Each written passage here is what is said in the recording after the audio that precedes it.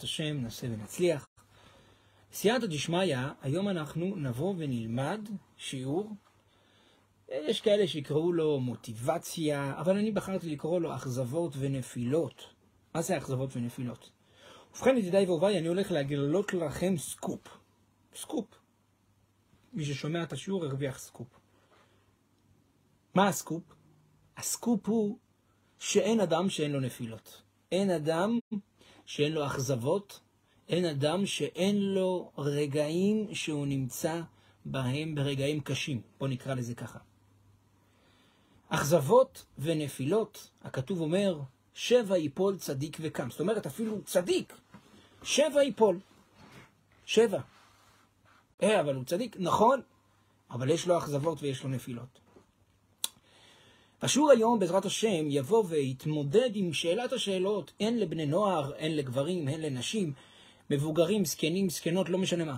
כל אדם יש לו רגעים קשים, או ימים קשים, שבהם הוא מרגיש שהמצב על הפנים. הוא למשל רצה לבוא להתחזק אה, אה, בשמירת שבת. פתאום הוא נופל, מתרסק, לא רק שלא שומר, עוד מחלל את אותה שבת הכי הרבה.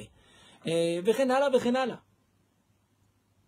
אז השאלה היא, איך להתבונן ואיך להתמודד עם נפילות שכאלה, ששוברים את האדם, שמרסקים את האדם, והאדם, אחרי השלב הזה, הוא בא ואומר, זהו, אני לא מעוניין יותר להתחזק, לא מעניין אותי, לא רוצה, למה? כי אם אני עולה, אז אני נופל. כמובן שזו מחשבה של היצר הרע, ואני אתן לכם למשל משל. אדם למשל שהלך ברחוב ונפל פעם אחת, האם הוא יקום או שהוא יישאר על הרצפה? יקום. הולך עוד קצת ונופל פעם שנייה. האם הוא יקום? ודאי שיקום. נפל בפעם השביעית, השמינית, התשיעית, העשירית, השבע עשרה, העשרים ושבע, השלושים ותשע, הארבעים ושלוש והחמישים ושש. כל פעם הוא קם. גם אם הוא שבע יפול צדיק וקם, שבע זה רק דוגמה. זאת אומרת, ידידיי ואהוביי, כל אחד צריך לדעת, הנפילות והאכזבות הם חלק מהמסלול הכומתה שכל אחד עובר. אפילו אם הוא לא הולך להיות קצין בצבא או כל דבר אחר, אתה עובר, את עוברת בחיים את המסלול הזה, את הדרך הזאת. ולכן, המחשבה התמידית היא לא להתרגש מנפילות, לדעת שהנפילות הן חלק מעבודת השם, והתכלית של היצר הרע זה לא רק להפיל אותך. הנפילה היא רק חלק קטן בקרב. אלא לייאש אותך או אותך, זהו, אם אני הגעתי למצב הזה, נגמר.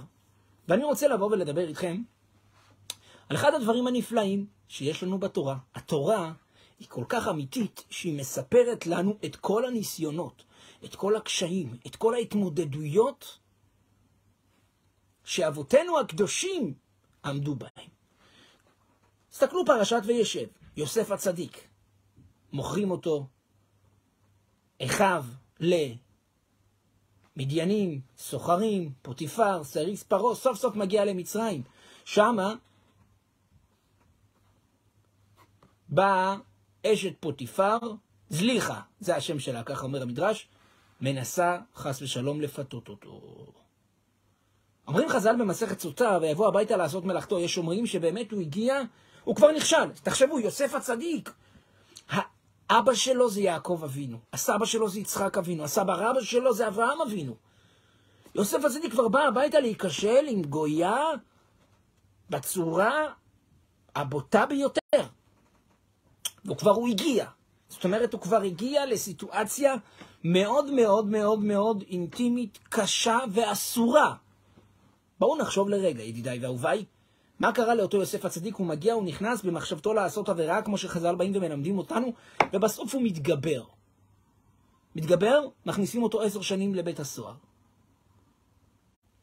על העלילה השפלה, שאותה מרשעת באה והעלילה עליו, שכאילו רצה לאנוס אותה וכולי וכולי, מכירים את הסיפור.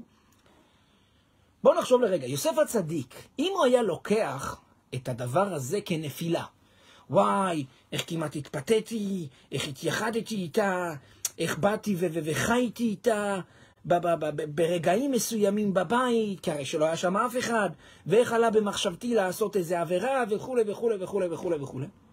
הדבר הזה בעצם היה מרסק אותו טוטאלית. למה? כי בן אדם אומר, אני הייתי בדרגה הזאת, פתאום אני מתבונן שאני בדרגה הזאת, אז, אז, אז עזוב אותי, אני, אני, כל מה שהייתי פה בדרגה גבוהה יותר, זה דמיון, זה לא אמיתי. אני באמת אדם מושחת, אדם מתואר, אדם תאוותן, אדם שחי כמו חיה רע. וזה בדיוק מה שהיצר הרע רוצה שהאדם יהיה, שהאדם יעזוב את אלוקים, שהאדם לא יאמין בכוחות שלו. אצל יוסף, מה כתוב אחרי ששמו אותו בבית האסורים? גם בבית האסורים השם עמו. ויהי מצליח את יוסף אפילו בבית האסורים. אין שר בית הסוהר, אפילו שר בית הסוהר, רואה שכל מה שהוא עושה, השם מצליח בידו. למה? כי למרות הנפילה, למרות ההשתדלות לעבירה באופן מסוים שהוא הגיע שם הביתה, הוא בחר. התגברתי, כל הכבוד לי, אני ממשיך. אפילו שזה כן נחשב לו נפילה, אבל זה לא התרסקות. וגם כשזה התרסקות, זה לא התרסקות טוטאלית, כי תמיד אפשר לבוא ולקום. אני רוצה, ידידיי ואהוביי, לבוא וללמד אתכם לא רק איך להתמודד עם נפילות ואכזבות, אלא איך להימנע מהם מראש כמה שיותר. חז"ל במסכת מכות בדף י עמוד ב' מלמדים אותנו, ידידיי ואהוביי, כמה וכמה דברים נפלאים. אמר רבונה ואמרי לה, אמר רבונה, אמר רבי אלעזר, מן התורה ומן הנביאים ומן הכתובים. זאת אומרת, מכל ספר התנ"ך, תורה, הנביאים, כתובים, אנחנו רואים, שימו לב, שבדרך שהאדם רוצה ללך מוליכין אותו. כאן הגמרא מביאה כמה פסוקים. מה זאת אומרת דרך שאדם רוצה ללך מוליכין אותו? יש בן אדם שהוא רוצה להתחזק. הוא לא שומר שבת, היא לא שומרת שבת, אבל המחשבה שלו אני רוצה. אבל רוצה לא רק בגדר של רוצה בלב, אלא גם מנסה לעשות. מנסה לעשות פעולות, מנסה לעשות פעולות. היא רוצה לשמור נגיעה. הוא רוצה לשמור את הברית. רוצים לשמור על הפה. אבל הרצון הוא לא מתבטא רק במחשבה, אלא גם בפעולות. הבא להיטהר מסייעים בעדו, ככה אומרת הגמרא ביומה, ופה בדיוק גם כאן, באותו דרך. איזה מסלול אתה או את בוחרים לכם בחיים? האם מסלול של מהמורות, של בעיות, או מסלול של דרך חלקה? אתם יודעים, לפעמים בווייז הוא רוצה לקצר לכם. לפעמים הדרך הזאת היא אולי קצרה, אבל היא באמת ארוכה. למה? כי הווייז מחשבן שמשם ושם, אבל פתאום הוא לוקח אתכם לכל מיני סמטאות צדדיות, וכל מיני כבישים עם מהמורות, ו- וככה וככה, והרכב כן עובד בפיתולי הכביש, ומהמורות המדרכות והכבישים. ו... לפעמים הדרך הארוכה היא בעצם הקצרה, חלק, נוח, ישר. זה בדיוק הנקודה הזאת בחיים. שכל אחד וכל אחת הם חיים לפי הדרך שהם בחרו. ואלוקים לוקח אתכם לפי הדרך שאתם בחרתם. הבחירה האישית נשארת ביד כל אחד ואחד. אבל אם בן אדם בוחר ברע, בוחר לשנות את החיים שלו, מדרך הטוב לדרך הרע, מדרך האמת לדרך השקר, מדרך היושר והצדיקות, לדרך הריגושים הווירטואליים, הפנטזיים, השקריים שהשטן מנחיל, אז על מי הטענה? על מי הטענה? אתה בעצם בא ומכניס לך את כל הניסיונות ואת כל הבעיות הללו. כמה פעמים פונים אליי בחורים, בני נוער וכולי, איך אני הרב יכול לבוא ולהתמודד ולשמור על הברית? אתה גולש בכל מיני אפליקציות שיש בהן בעיות? כן. יש לך חברה? כן. אתה רואה סרטים אסורים? כן. אז איך אתה רוצה לשמור על הברית?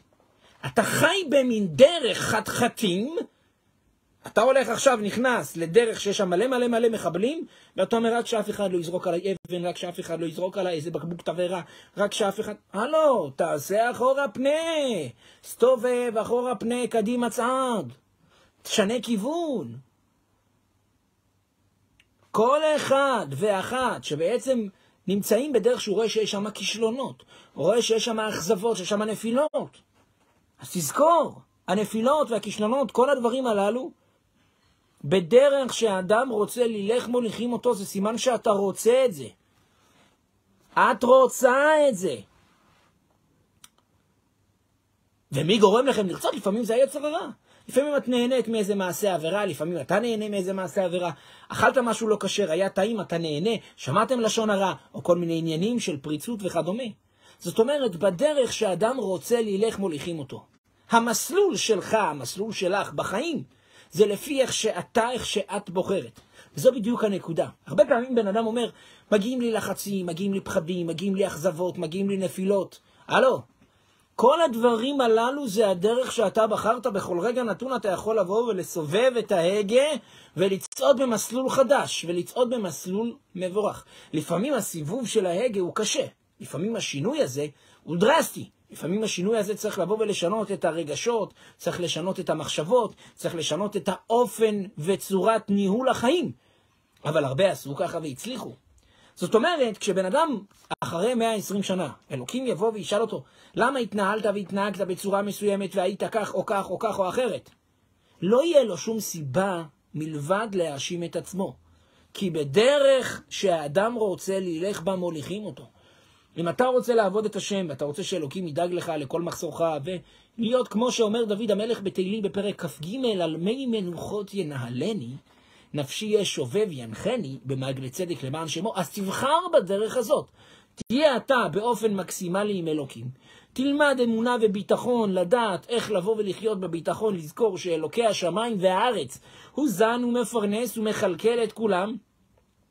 והוא יודע בדיוק כל מה שאתה רוצה ומה שאתה צריך, והוא מחליט מה אתה תקבל ומה אתה לא תקבל, ואחרי ההחלטה שלו לא יעזור לך לא זה ולא זה, ותמשיך להשתדל בכל כוחך לרצות את הבורא. רצה באשר ירצה יוצריך, אתה תרצה במה שהבורא רוצה, גם הבורא ירצה מה שאתה רוצה. כך אומרת המשנה במסכת אבות. הנקודה היא שכל אחד, הוא חי בבועה שלו, חי בדחפים שלו, חי במידות שלו, ולא רוצה להשתחרר מהם. אבל מה כן רוצה? שיהיה לו את כל הטוב שבעולם. רגע, הטוב לא הולך לפי המסלול של הדרך הזה. אדם רוצה לבוא ולקדש עכשיו דרך, לקצר את הדרך דרך כבישי חברון. מקומות מסוכנים, דרך שועפאט, דרך כל מיני מקומות, דרך עזה. ושאף ערבי לא יבוא ויגיד לו כלום. רק מקסימום יקדמו אותו בבקלאות וכנאפה. הלו, אתה מכניס את עצמך לסכנה. זו בדיוק הנקודה הזאת של בדרך שאדם רוצה ללך, מוליכים אותו. הבנתם? וזו בידידיי ואהוביי הנקודה הכללית, שכל אחד ואחת צריכים ללמוד ולדעת את הנקודה הזאת ואת הדבר הזה. תעשו חישוב מסלול. האם אתם מרוצים בדרך שלכם היום? האם האכזבות והנפילות מרסקים אתכם? במסלול של הדרך תבדקו איך אתם עושים אחורה פנה, קדימה צעד וצועדים לדרך חדשה. מי שצריך עזרה, אנחנו כאן לשירותכם. ובכן, ידידיי ואהוביי, למי שיש שאלות, בבקשה. וגם היום אנחנו בעזרת השם נבוא ונעשה מגבית, אבל לא מגבית של כסף, אלא, ידידיי ואהוביי, מגבית של שעות תורה. אנחנו נמצאים כבר בארבע וחצי שעות תורה שקיבלו עליהם כאן,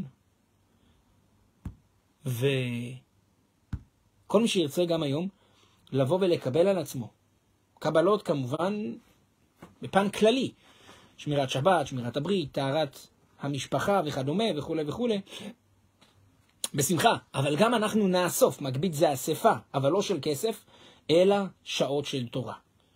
מי מוכן ללמוד 20 דקות כל יום? אנחנו כבר נמצאים ארבע וחצי שעות של אנשים שקיבלו עליהם תורה, וזה בעצם מצטרף לחשבון הגדול שבעזרת השם, של כל אחד ואחת, לעתיד לבוא, שהנשמה תעלה לשמיים ותקבל את הדין שלה, אבל יהיה לה את הזכות הגדול.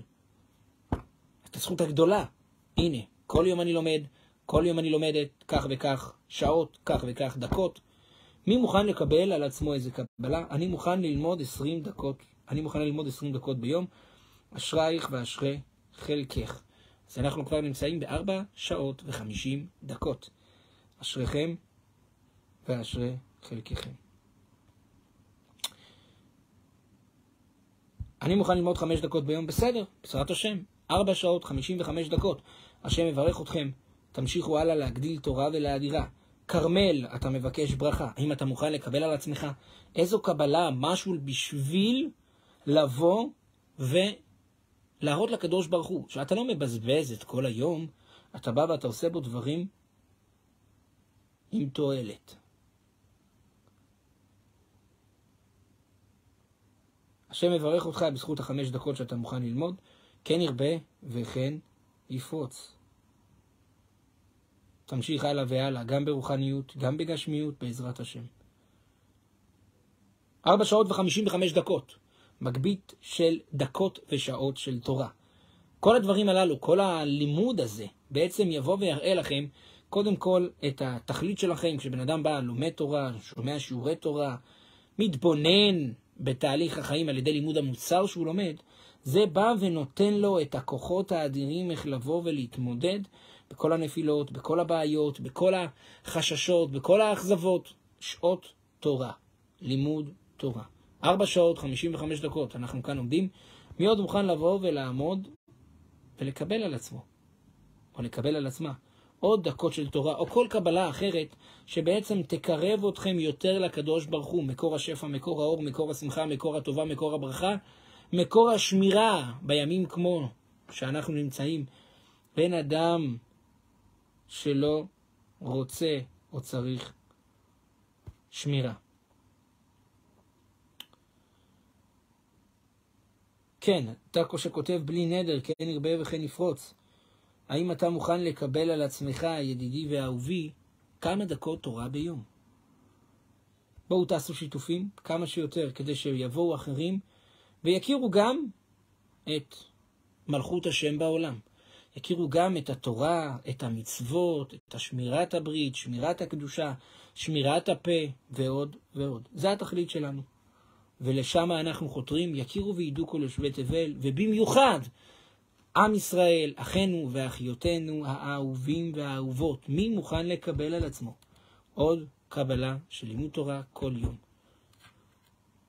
או כל קבלה אחרת. לגבי לכנות רב בכינויי גנאי,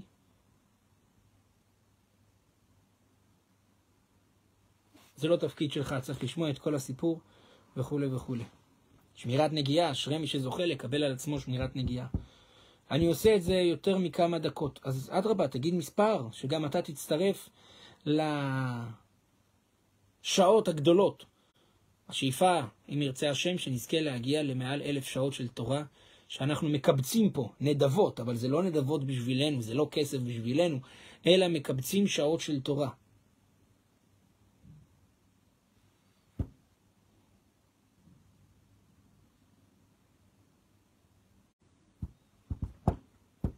ארבע שעות וחמישים וחמש דקות. מי מוכן לקבל על עצמו עוד?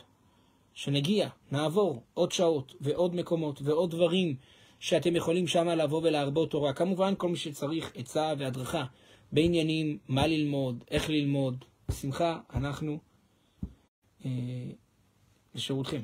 לגבי שמירת נגיעה, הדבר הזה חשוב מאוד, כי בעצם כשבן אדם שומר על עצמו מלגוע במה שאסור לו לגוע, אם זה אישה בגבר, גבר באישה וכדומה, שהם לא נישואים ובאופן שהאישה לא טהורה וכדומה, הוא משפיע עליו את הברכה העליונה הרוחנית והקדושה.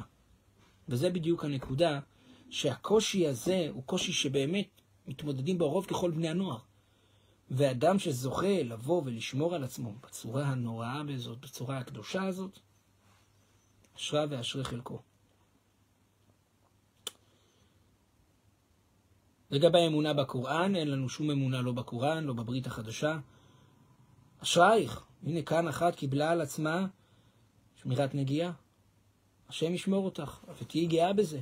את לא צריכה, הנה גבריאל דן, שכנעת אותה, כל הכבוד. מה אתה מוכן לקבל על עצמך, גבריאל דן? נהיית מזכה הרבים? עכשיו מה אתה מוכן לקבל על עצמך? להתחזק, לימוד תורה, שמירת שבת, כמה זמן אתה מוכן ללמוד תורה כל יום, לשמוע שיעור תורה, לקבוע עיתים לתורה, ללכת לשיעור בשכונה, לא משנה מה. ללמוד תורת השם, שהתורה הזאת תשפיע עליכם. הנה, גבריאל דן, אשריך קיבל על עצמו גם שמירת נגיעה. הקדוש ברוך הוא ישמור אותך מכל צרה וצוקה. וכן את זאתי השנייה שקיבלה שמירת נגיעה, הקדוש ברוך הוא יציל אתכם מכל צרה וצוקה, מכל נגע ומחלה, ותזכו בעזרת השם לכל מילד מיתה. ואני גרה ביישוב חילוני, איך אני אשמור נגיעה? זה שאת גרה ביישוב חילוני זה לא אומר שכולם צריכים לגעת בך. זכותך להיות אחראית על גופך. את לא מעוניינת ללחוץ ידיים, חיבוקים, נשיקות, לא רוצה.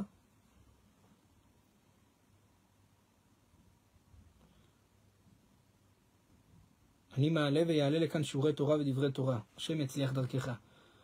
אה, לגבי הוצאת זרע לבטלה זה גם כשזה מחמת תאווה.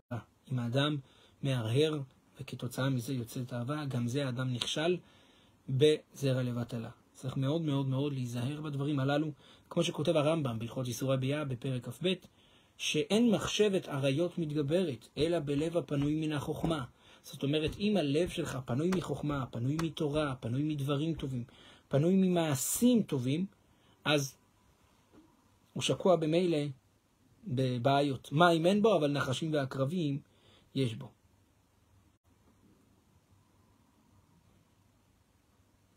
מי עוד מוכן, ידידיי ואהוביי, להתחזק, מי שרוצה לבוא ולשאול כאן שאלות? לגבי ללכת לראיון עבודה, והמראיינת היא אישה, ומגישה את היד, אסור ללחוץ ליד, מה לעשות כדי לא להביכה? ובכן, הדרך הכי טובה היא מראש לומר, אני שומר נגיעה, מצטער שאני לא אוכל ללחוץ לך את היד. א', ב', למה אתה צריך ללכת לראיון שהאישה היא מראיינת? הרי בדרך כלל בסוג כזה, גם בעבודה יש נשים, והניסיון שלך יהיה תמידי. אז חבל. ג', צריך לדעת, כל עמידה בניסיון, כל התגברות, לא משנה מה, בגלל חוסר נעימות או כל דבר אחר, האדם זוכה לשכר אין סופי. וזה פותח לך שערים של פרנסה, שערים של הצלחה, שערים של שפע רוחני וגשמי, כל התמודדות, כל ניסיון, כל התגברות. הבנת ידידי אהוב? אם יש שאלות, בבקשה. מי מוכן לקבל על עצמו? לגבי עניינים שבינו לבינה, אפשר לפנות בפרטי, זה לא פורום של שאלות כאלה בפרהסיה. מי עוד מוכן לקבל על עצמו, ידידיי ואהוביי? מי מוכן לקבל על עצמו כאן עוד קבלות, עוד עניינים? אנחנו כאן בעזרת השם. אני מוכנה לקבל על עצמי גם צניעות, אשרייך ואשרי חלקך. תזכי לשפע רוחני וגשמי. שקודם כל כל הסובבים אותך ביישוב החילוני לא יציקו לך, לא יפריעו לך, תמצאי חן ושכל טוב בעיני אלוקים ואדם, שתזכי בעזרת השם להתקדש ולהיטהר ובבוא העת, אני לא יודע אם את בגיל של שידוכים או לא, תזכי בבוא העת בעזרת השם גם שידוך טוב והגון, תוך בריאות איתנה, עושר ועושר וכל טוב. מי עוד מוכן לקבל על עצמו ידידיי ואהוביי? יכול לבוא ולרשום כאן בתגובות. כמובן, מי שצריך עוד, בעזרת השם, לקבל על עצמו עזרה אחרי הקבלה שלו, עזרה וכדומה, אנחנו כאן לשירותכם.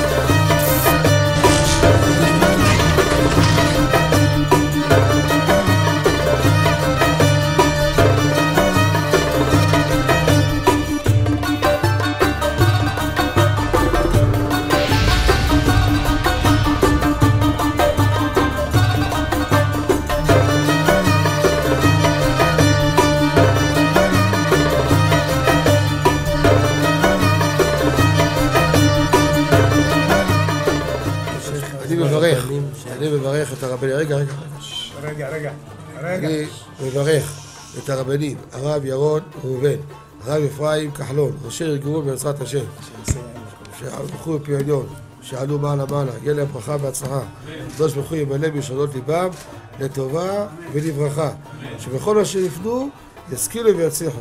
יזכו עוד לעשות כאלה וכאלה, הודיעו תורה לאדירה, אמן ואמן. Thank you.